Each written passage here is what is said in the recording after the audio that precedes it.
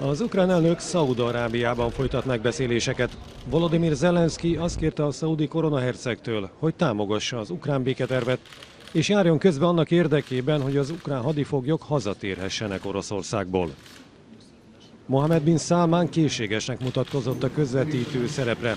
Riad az OPEC országcsoporton keresztül szorosan együttműködik Oroszországgal az energiapolitikában. Miközben az ukrán elnök Albániába utazik tovább, Kiev erői hátrálni kénytelenek a keleti fronton. Zaporizsia közelében, a lőszerhiány ellenére sikerült lelassítaniuk az orosz csapatok előrehaladását. Az ukrán erők néhány nap alatt új védelmi vonalat hoztak létre.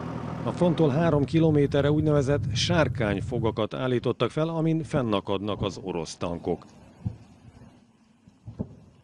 Az ukrán hadvezetés azt közölte, lelőttek egy orosz Su-34-es vadászgépet a keleti fronton.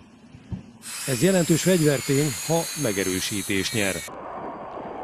Ukrajna várhatóan még hónapokig lőszerhiányjal küzd a fronton, és jelentős hátrányban lesz az orosz haderővel szemben. Egészen addig még meg nem érkeznek a részben beígért, részben befagyott nyugati támogatások.